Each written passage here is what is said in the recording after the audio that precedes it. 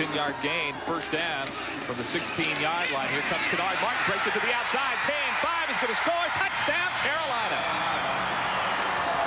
Kennard Martin, his second touchdown of the day, 16-yard run. And with an extra point, Carolina can tie up this football game. Right back in this game. Excellent job of moving the football on the ground, getting a great surge up front. Randy Marriott made a great block downfield. The corner was no factor. He was on his back.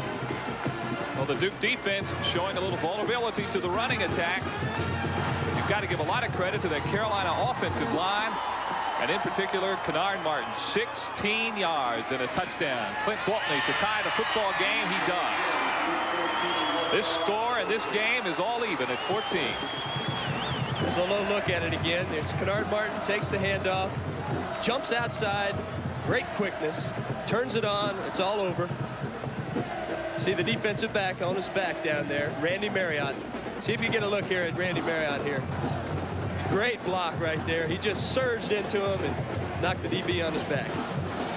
Kennard Martin, 95 yards rushing so far in this football game. We've got 12-28 left to play in the first half. We'll be back after these messages from your local stations.